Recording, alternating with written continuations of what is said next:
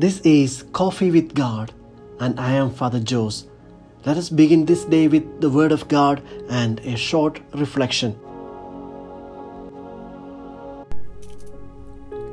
A reading from the Holy Gospel according to Luke, chapter 6, verses 36 to 38.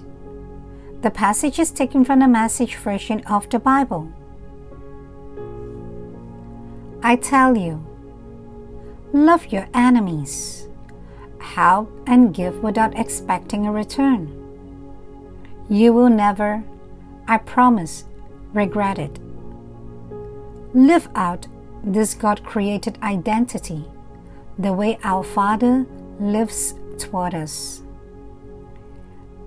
generously and graciously, even when we are at our worst. Our Father is kind. You be kind. Don't pick on people. Jump on their failures. Criticize their faults. Unless, of course, you want the same treatment.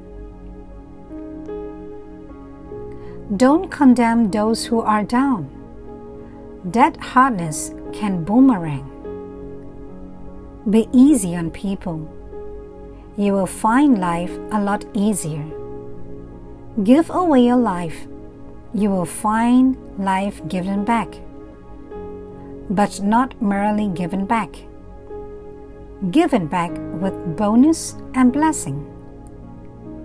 Giving, not getting, is the way.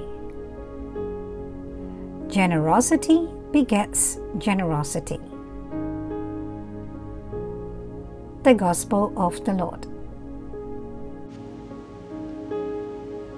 Reflections on the Holy Gospel according to St. Luke, chapter 6, verses 36 to 38. Imagine God's mercy as a blank cash check with your name written on it, and the account never runs out of cash. The more God's mercy you share with others, the more mercy will be shared with you. It is up to you to decide how much you want to draw with the check. Pope Francis says, Loving our enemies, those who persecute us and make us suffer, is difficult. It is not even a good business, or at least it is not the logic of the world.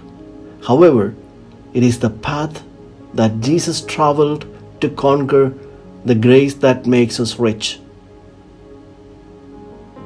The cliche of glass half empty or glass half full directly applies to today's gospel.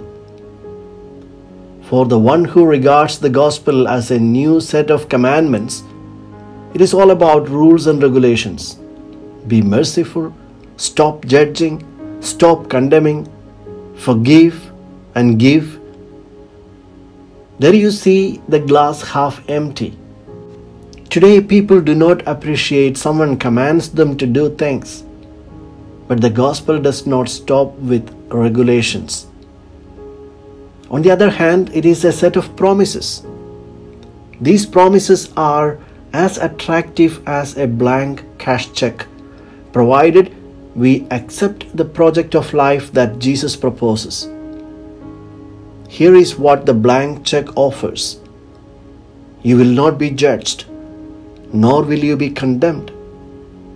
You will be forgiven of your sins, and God will bless you with unlimited fortunes. How can we operate this account? The Word of God says to start by forgiving others. Are there people who annoy you? Be merciful by practicing patience with them. Can I think of someone lonely or hurt? Can I spare some time to talk and be with them? Have you ever noticed your elderly neighbor for whom it is hard to come to the market to buy groceries? In this land, the Lord reminds us of our responsibilities to be generous because we have a super generous Father.